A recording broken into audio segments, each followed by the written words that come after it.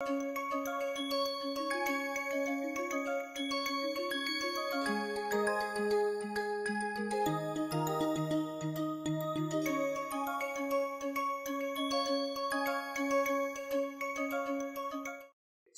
why do we do nonlinear dynamic systems and control? Is because uh, very very important. Most systems that we see around us are nonlinear. And if you're doing uh, if you want to study stability if you want to understand their behavior their evolution asymptotically uh, or, or the transient behavior you need to understand how to analyze these systems. So that's sort of the first uh, relatively big half. Yeah we learn techniques. Uh, so everything we do in this course is deterministic. We are not doing anything stochastic here. So it's a deterministic course. And uh, we of course want to introduce a little bit of design. So we uh, especially in the second half of the semester you will see uh, more and more of doing design methods of doing design and then examples of doing design yeah? So that by the end of this course if you have you know some example system yeah? For example if you have a robotic system if you have an electrical system anything yeah? And you have a fairly you know uh, good fidelity model for this then you can actually use some of the methods that you've learned here in order to uh, do a control design all right mostly of course this is a very fundamental course for uh, you know control theory practitioners control theorists and control theory practitioners um, uh, industry folks. So of course um, a lot of syscon students uh, show up here because it's a core course. Yeah. Uh, but it is also of um, lot of interest for anybody who's working in the general area of dynamical systems so i get a lot of students from uh, aerospace mechanical uh, i myself from an aerospace background so a lot of what i do is uh, you know apply these theories to aerospace systems you know things like satellites attitude control you know uh, spacecraft on orbits um, um, i i mean my own background is that I uh, did my aerospace engineering PhD from the University of Texas at Austin. So it's one of the nicer programs uh, in aerospace in the US, I would say. And uh, Texas was also a very good place to be. Um, and um, we had a lot of exposure to um, not just doing a lot of theory, but we also got to interact with, uh, you know, folks from NASA Air Force research labs who were sort of coming in with their own projects you know, and their own research, which was sort of very real problems. Yeah, and um, you know, so so it would typically work like it works here. The faculty has a project, and you typically get put on the project as a PhD student, and uh, then you sort of contribute bits and pieces to it. Yeah, of course, you are not just running the whole thing, but uh, we did a little bit of satellite control design for a few of these agencies okay um, so a lot of lot of applications in recent times of course uh, i have seen applications in uh, i've seen people work on applications in uh, smart grid control. Yeah i mean um, in germany siemens uh, actively sponsors these projects with the smart grid control. Because in europe a lot of this uh, i believe this um, you know energy generation locally uh, is very very highly encouraged. So a lot of uh, you know uh, local folks do energy generation and then they supply to the grid.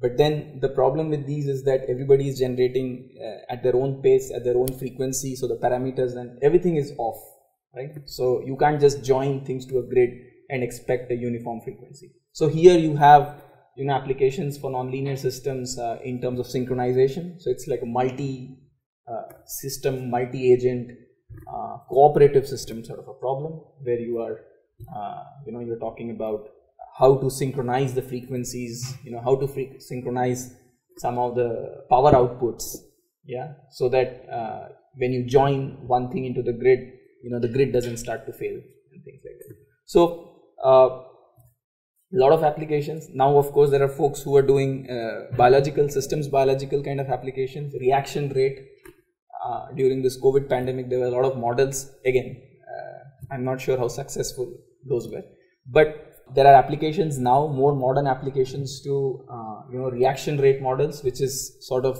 the uh, infectious disease spreading models. Then there is, uh, please come forward.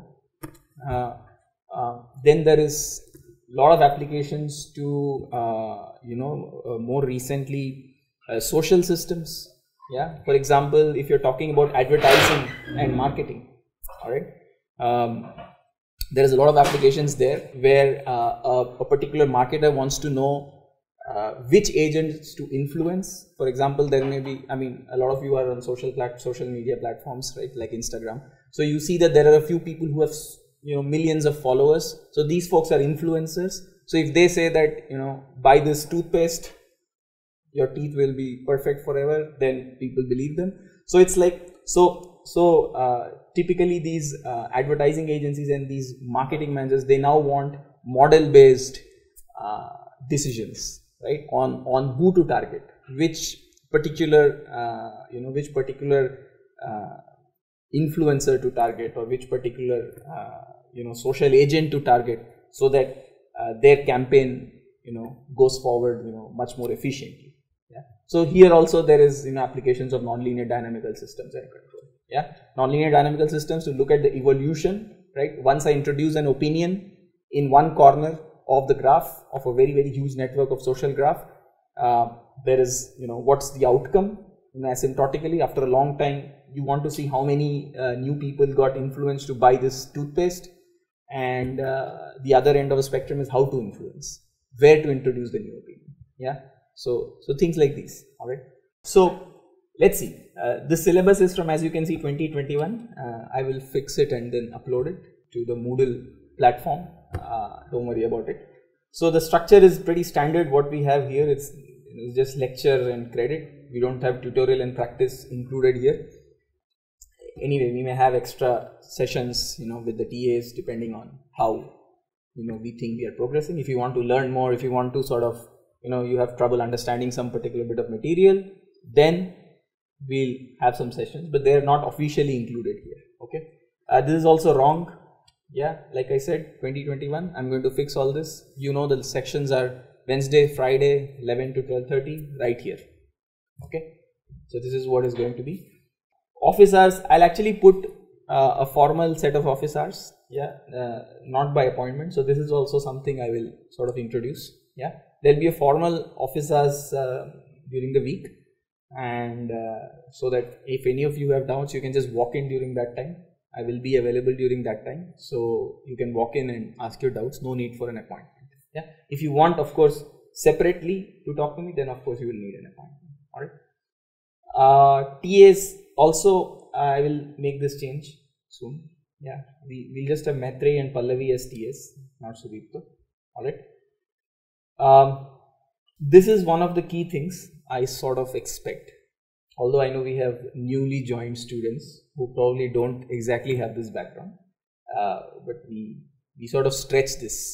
Okay, so the general expectant uh, expectation is that there is a graduate level competence in ordinary differential equation. So you must have seen some kind of a state space ODE course.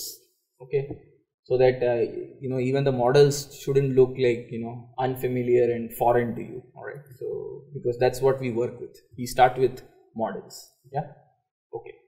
Uh, so if you're unsure of our academic preparation please talk to me after the class yeah? This is the first class so usually a lot of people show up and anyway so uh, please talk to me after the class if you have. Um, so i expect some basic matlab or python or some alternate programming experience because see I do some bit of design aspect also in the second half. So there uh, I can assure you if you unless you do some bit of uh, you know hands-on coding and things like that at least you don't get a good feel for you know whether what you did worked well or not. Okay?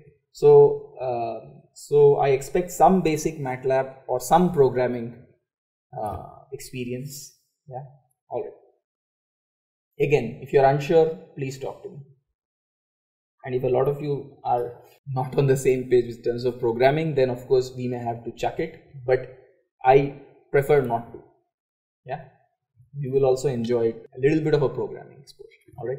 You see some real systems and them working under the controllers you designed. Yeah. And then you learn also things like things that we don't talk about is like how to tune the gains in nonlinear control. I mean, it's still a little bit ad hoc. Yeah. All right. Okay, great. Uh, the topics. this is the uh, very very uh, broad overview of the topics. Okay. Uh, we may choose not to do some of them depending on how much time we have. Yeah. But this is a generally broad overview. More or less you can assume that we will cover at least 90% or more of this material. Okay so it, it's not going to change significantly. Like i said this is a very fundamental course. So unfortunately i don't have a lot of freedom in uh, you know talking about a lot of new areas okay? So if we do have time of course we will. But usually it will be a fundamental course. So the methods uh, that we talk about are by now classical okay? Not classical in the sense of 1800s but classical in the sense that everybody knows this uh, in the community. Yeah? We just learn it better here. Okay. So first we start with some nonlinear systems introduction example some preliminaries. Yeah? Which all of you will require which will sort of set up uh, notation okay for how uh, things will look how the mathematical notation will look. All right then we will have we'll start immediately with the lyapunov stability. Okay so this is the fundamental stability notion for nonlinear systems. Like for linear system well again these notions are also pretty much valid for linear systems okay? Uh, so there's no real difference as such. The only thing is that linear systems you are used to working with input output stability yeah? So you hardly talk about uh, there is notions of internal stability right? And there you pretty much characterize it with what do you characterize it with by the way? How do you characterize internal stability for linear systems eigenvalues. Yeah just write the matrix x dot is ax and just check the eigenvalues of the system. If they are on the negative left half plane or whatever i mean if they are on the the real parts are negative you are good to go. Okay? So so this is how you evaluate. Um, but that's a evaluation method. Yeah? That's not a definition. All right it's an evaluation method and not a definition. So let's be very clear. Definition still remain the same. Okay um, so you you see a lot more evaluation methods when you talk about linear systems. You hardly look at the definition. Most of you when you if you did linear systems you would not have seen definitions. You would have seen tests. Like you know check if the poles are on the left half plane and things like that. You would not have talked about what exactly is stability. Okay? So lyapunov stability definitions are the universal standard for what is stability. Okay? How do we characterize what exactly is the notion that we are talking about so things immediately get mathematical here. Yeah so welcome to the course very quickly. All right. Uh, then of course we talk about lyapunov theorems. Yeah these are the tests for nonlinear systems. Okay? In nonlinear systems we, notions of eigenvalues and all that no questions about it. Because you cannot write it as a matrix a constant matrix. Okay? And so if you even uh, even if you have a linear time varying system i hope all of you understand that just checking the eigenvalues of a linear time varying system does not tell you anything about stability yeah even if for all time the time varying matrix that you have has negative eigenvalues, negative real eigenvalues, it does not guarantee stability. Okay, this is a well known fact. Yeah. So, for time varying linear systems also these eigenvalues test do not work, uh, you know, the way you expect them to. Okay. So, there is no question of them working for nonlinear systems. Yeah, I mean obviously not. Of course, there is possibility of doing linearizations and things like that. We do not talk about linearizations here. Okay. We directly test stability of nonlinear systems via Lyapunov theorems. Okay. That is the idea. Alright. Then we talk about invariance theorems which are a, uh, give a little bit more flexibility in terms of um, sort of an extension for our Lyapunov theorems. Uh, then uh, we will talk about input output stability. This is sort of the linear system equivalent yeah uh, also has its advantages in nonlinear systems in modern nonlinear systems there is notion of uh, notions of uh, input to state stability yeah so iss results and input output stability these are important when you are talking about uh, disturbances okay? So any real system is affected by disturbances. Yeah? Whatever i do in theory you cannot expect that you know the real system is going to have a very similar uh, sort of an outcome you know? You may apply the same control. Yeah? You design a control for a quadcopter and you put it on a quadcopter. It will not behave how you think it is expected. Yeah, these are all effects of disturbances. Okay, of course there is no there is actuator saturation and so many other things, but all of these can be clubbed as disturbances if you want to. Okay, so input output stability is an important notion. It sort of connects linear system notions.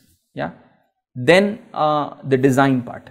Yeah, which I'm hoping a lot of you will be excited about. Yeah, so the first is Lyapunov redesign where we use the notions of Lyapunov functions to uh, design controllers. We learn how to do that. Okay. Then we have one of the most most powerful techniques of uh, designing Lyapunov functions. So once you design a Lyapunov function, of course you can use Lyapunov redesign to get a controller, right? Uh, so this is called backstepping design. So it's like a it's a step by step way of coming up with a Lyapunov function. So it's a rather powerful method. Um, I talk about it even in my adaptive control course because backstepping is the sort of central idea for designing controllers there. Then we have feedback linearization which is one of the oldest ways of uh, designing nonlinear controllers. Um, and then finally we have passivity and energy shaping which I have clearly said is subject to time availability. Okay. So, um, again depending on how I feel I may add some more uh, design elements yeah? The the uh, fundamental analysis elements are standard. There is no change. All of you have to learn this if you have to even talk about design and talk about nonlinear systems stability and so on. Yeah? So this there will be hardly any change in this uh, first section. But in the design part we can choose to do a little bit more here and there depending on uh, what our interests are and what is the time that we have. Okay? So these are the references. Very standard. Okay. Khalil's book by nonlinear systems for the invariance design very very good book very good reference for that. Vidyasagar's book is one of the most mathematically precise uh, nonlinear systems analysis book yeah. Then all the geometric notions uh, feedback linearization uh, all of these are best explained in Alberto Isidori's book yeah very good book again and then you have this Krstic, the KKK book. So it's the Krstic, Kanellakopoulos and Kokotovic book for nonlinear adaptive control. Since it's so difficult to say, I just call it the KKK book. So usually I will tell you which book I am somehow referring material from. But of course, as you will see, I have, I have handwritten notes and things like that. So, uh, so maybe in the future it will become printed notes, but right now it's handwritten notes. So uh, mostly we will have this sort of a, these are the sort of key references here, okay. Uh, very good books, all of them, very good books. I mean, over time, if you want to be in this area of nonlinear control, I think you should own all these books, yeah, over time. I'm not saying you have to buy it now, but I'm saying these are really, really good books to have as references for life, yeah, good.